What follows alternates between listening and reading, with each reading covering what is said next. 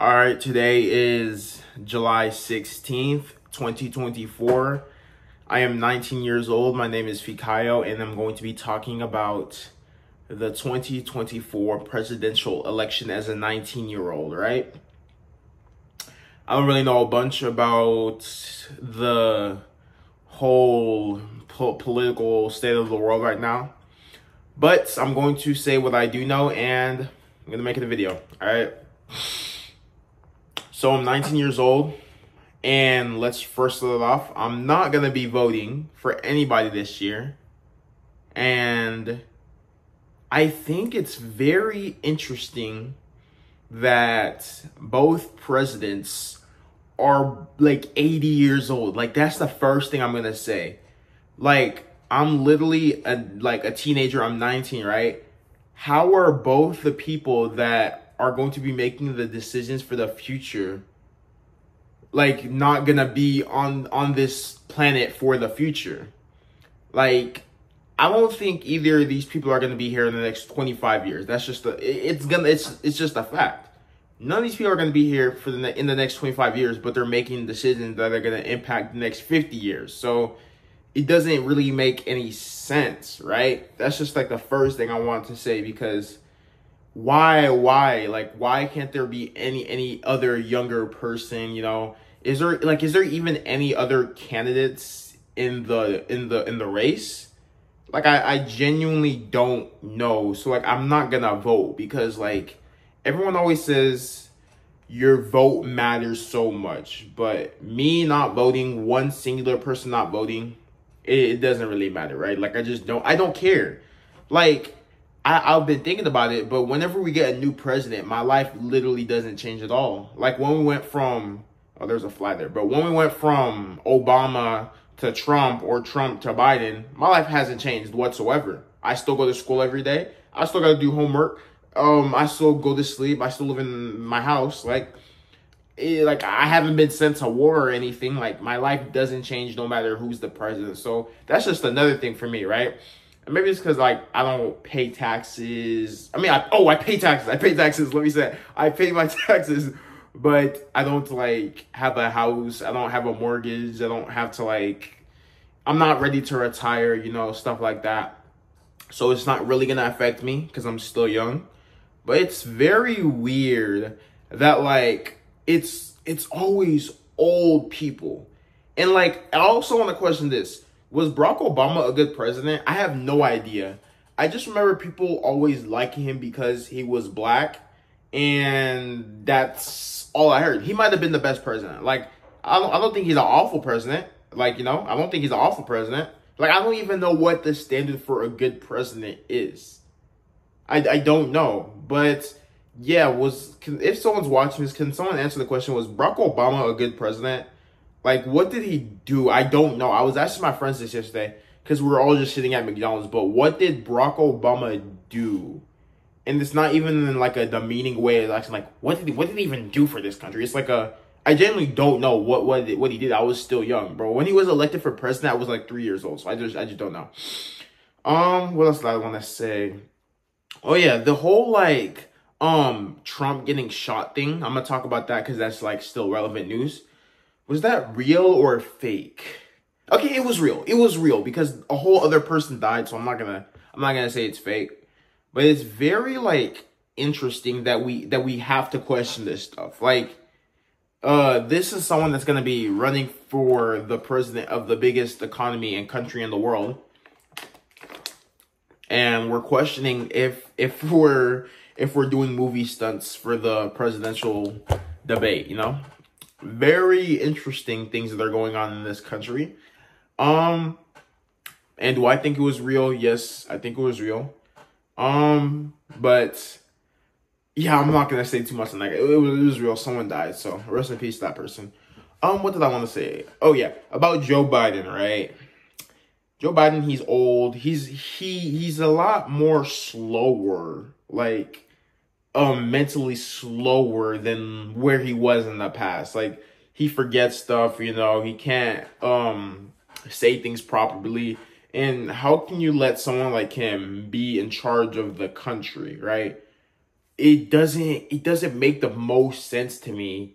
And I'm not saying, oh, Joe Biden is this, this, vote for Trump. I'm just like, I'm just saying like the cons. I'm gonna say the cons for Trump too, but let me finish Biden, right? Biden is 81 and he could barely speak, right? He could barely speak, right?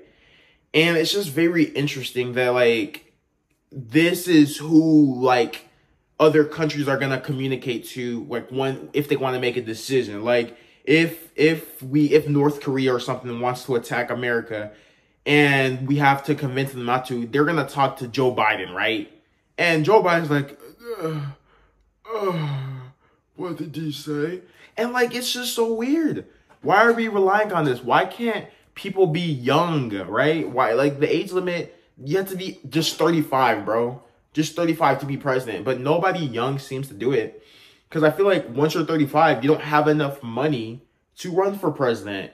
Being president or running for president costs a lot of money. You know, you have to do a bunch of campaigns, advertisements. So you can't just run for president if you're broke because nobody's gonna know about you, you know.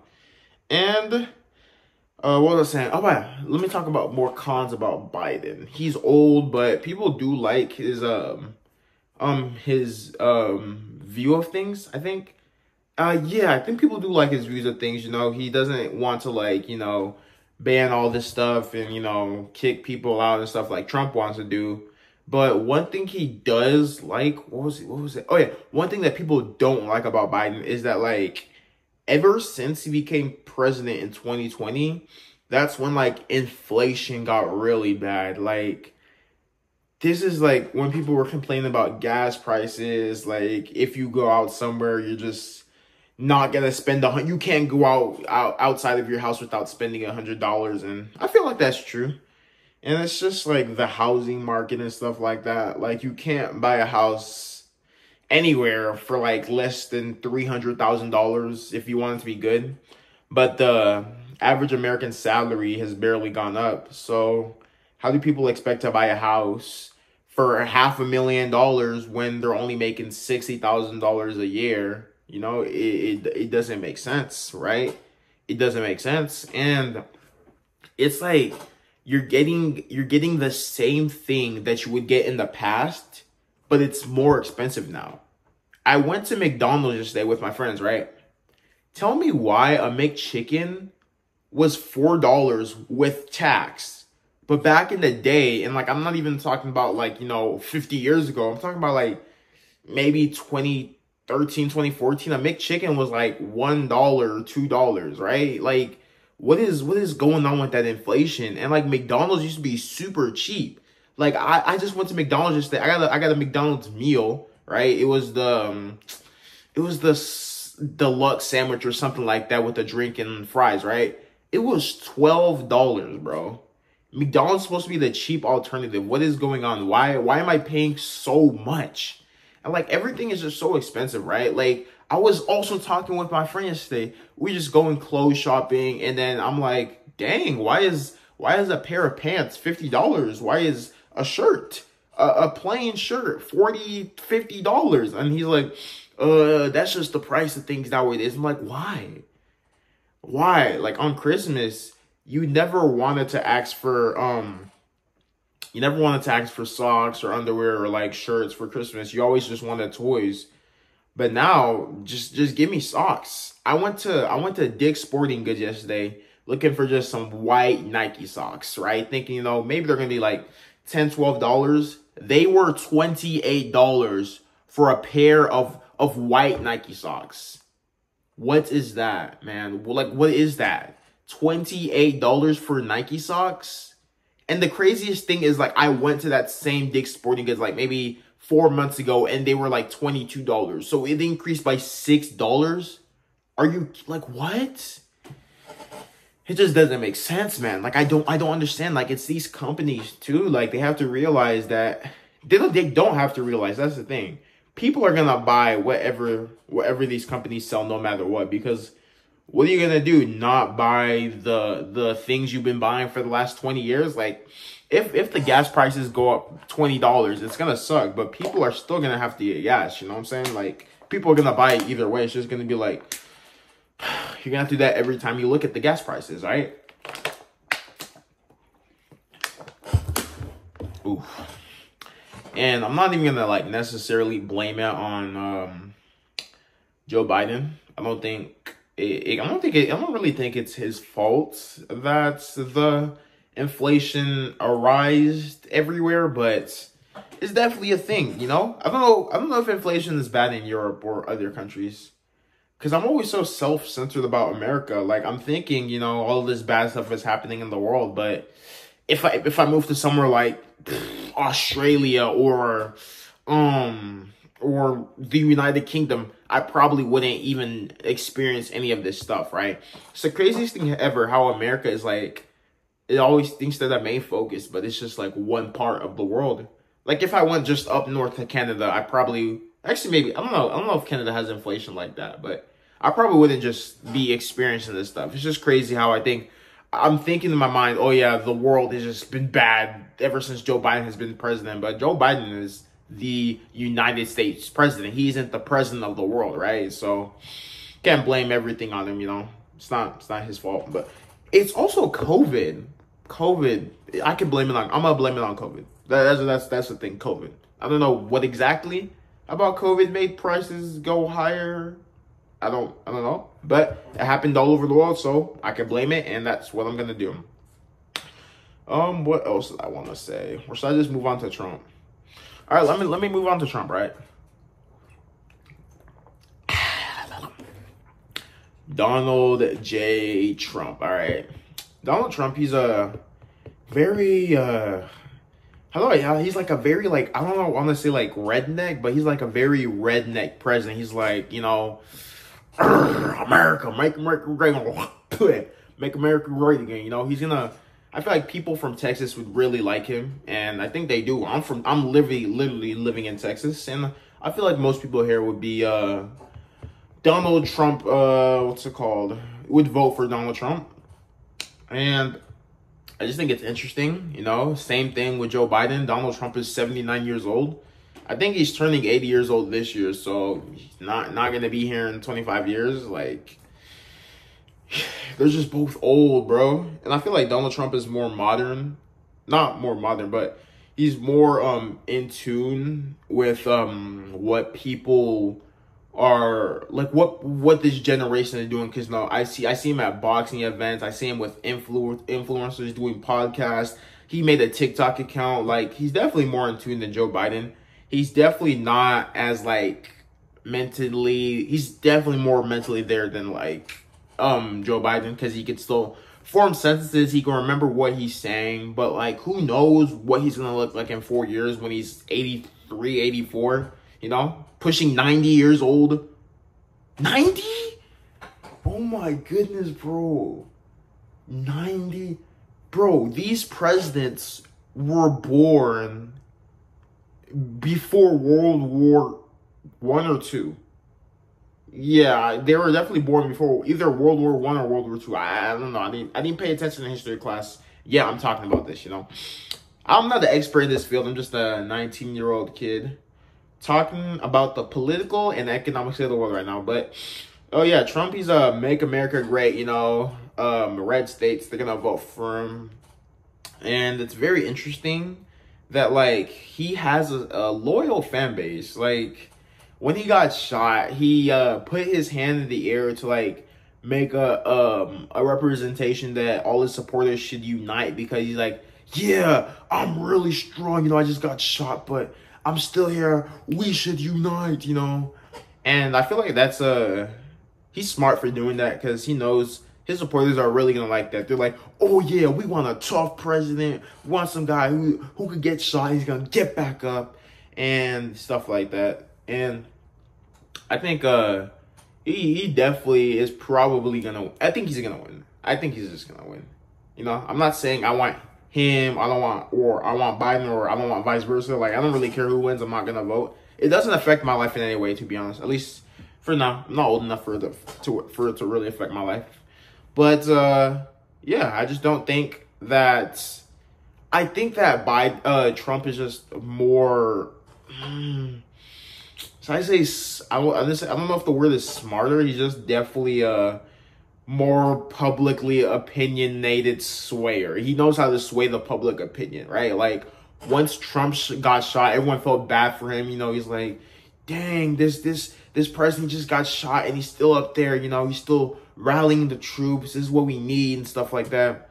He's smart. You know, do I? I don't think it was fake. You know, so I think he is. That's strong. You know, you just got shot or something. You know, you're bleeding from your ear on the stage. Millions of people are watching this, and you're like, nah, I'm not gonna just go out. You know, I'm not gonna just get carried out by my security. I'm just gonna stand with my troops. You know, like that, that's that's tough. That was aura. That was aura. If you're if you don't talk about that was aura, but um, yeah, it's very interesting. very interesting that uh that historical event just happened in our lifetimes. And it's gonna be in history books. That's gonna that's gonna be in history books. I just witnessed history. Someone somewhere is probably writing the history book right now that, that they're gonna use for class of 2070 but yeah the presidential election for 2024 i'm not gonna really vote. I don't really care. But one thing i would want is just get rid of student student or forgive student loans forever. I don't understand why, as a president, if you want young people to vote for you, like people who are like in high school, in college, just graduating college, you know, like 20s to 30s to 40s, I think you just cancel student loans. I don't know if you could just do that. I, I don't know. I'm not into politics. I don't really know what a president can or can't do. Should definitely do that if you want young people to vote for you. At least that's just my opinion on the matter. And I also one thing I don't like about the president stuff is that I've seen uh, on Twitter I see Joe Biden tweet a lot saying, you know, if I was president or if I'm reelected for president, I'll I'll do this, this, and this, or you know, somebody needs to stop this from happening. It's like, bro, you're the president. You've been the president for four years now. Like, you could have done something. And I know there's other parts of the the branch legislative and the Supreme Court and stuff like that. So you can obviously get overruled because majority rules to prevent a dictatorship in the U.S. government. But it's just interesting that they only use the tactics of saying, you know, I'll do this once their term is coming to an end, you know? It's not like you've been president for four years and you could have tried fighting to get this stuff, you know, make it so it's not gonna happen, but so I have to focus on other stuff, you know? That's fine. But I feel like I don't know what Joe Biden did in his presidency because, you know, Obama had Obamacare. That's one thing I know because I was talking about, I don't know what Obama did in, in the beginning of the video, but he did make Obamacare. I know um, Donald Trump was like the wall for the border, the Mexican border thing, something like that. I don't know if that actually ever happened. I, I don't know. Let me know in the comments. And I don't know what Joe Biden did. Did he like? I don't know. Like, what, what was his standout thing? You know, I don't know. And if you're watching this video, let me know who you would vote for. If you can vote, even if you're not old enough to vote, who would you vote for? Because I was talking to my friend the other day, and I was asking, you know, no, I I told her I'm not voting, and she was like, "Yeah, you're the problem with this society nowadays because you're not voting." I'm like, "Why? How does me not voting affect? How does me not? How is me not voting a bad thing? You know?" I, if I'm not voting, I'm not voting for somebody bad, right? Like it's not gonna make a difference, right? But if you know why that's a problem, let me know in the comments. I, I don't know. Is there anything else I want to say? Is there anything else? I was basically just yapping today. Just a yap session. Straight yap. Um, I don't know when the presidential election is. I don't know if they become president this year, next year. I know Biden did become president in 2020, so I would think four years would be up in 2024, which is this year.